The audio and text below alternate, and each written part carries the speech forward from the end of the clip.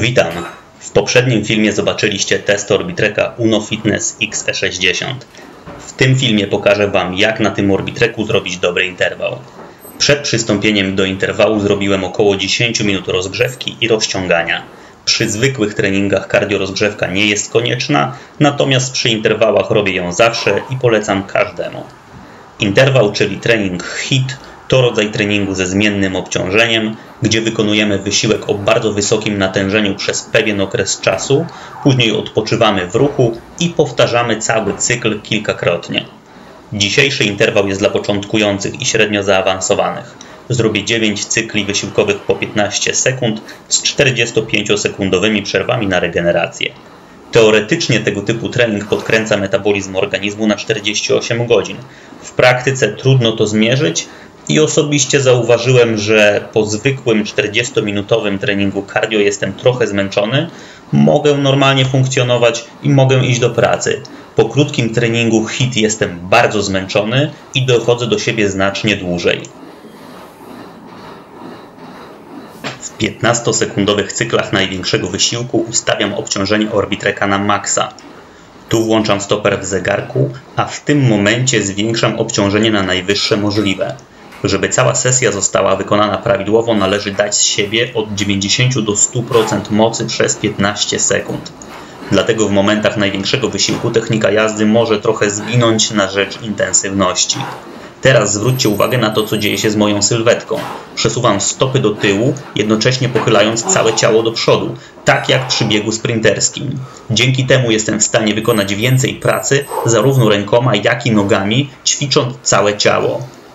W części przeznaczonej na regenerację zmniejszam obciążenie do około 20-40%, tak by złapać oddech i odpocząć w ruchu.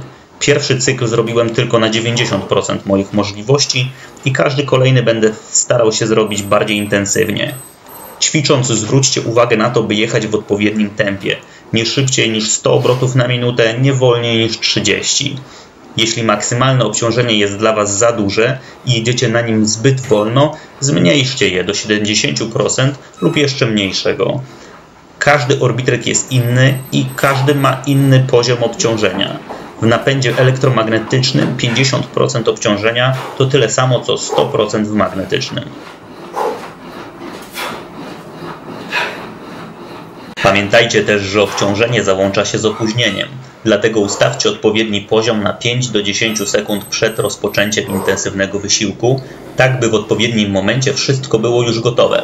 Zwróćcie uwagę na to, że moje ciało cały czas jest w jednej linii z orbitrekiem i ani ja, ani maszyna nie bujamy się na boki. Orbitrek jest bardzo solidny, ciężki i co najważniejsze wyposażony w przedni napęd, który jest wygodniejszy, bezpieczniejszy i pozwala na osiągnięcie lepszych wyników bardziej angażuje górne partie ciała niż napęd tylny. Po treningu na takiej maszynie czujemy ogólne zmęczenie całego ciała, a nie tylko nóg. Różnica między przednim napędem a tylnym jest mniej więcej taka jak między pływaniem a bieganiem. Przystępując do treningu HIT, ubierzcie się lekko, zostawcie uchylone okno, by mieć dopływ świeżego powietrza. Woda lub inny napój pod ręką to też dobry pomysł. Dobry trening interwałowy jest ważną częścią całego planu treningowego, ale wykonywany zbyt często traci swoją skuteczność. Plan treningowy powinien być złożony z wielu konkretnych ćwiczeń, wykonywanych w odpowiedniej ilości i w odpowiedniej kolejności.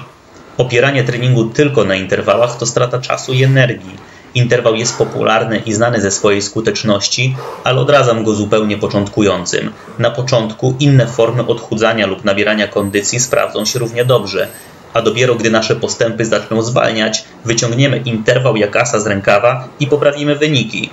Interwałów nie wolno łączyć z niektórymi rodzajami ćwiczeń, ani robić na czczo.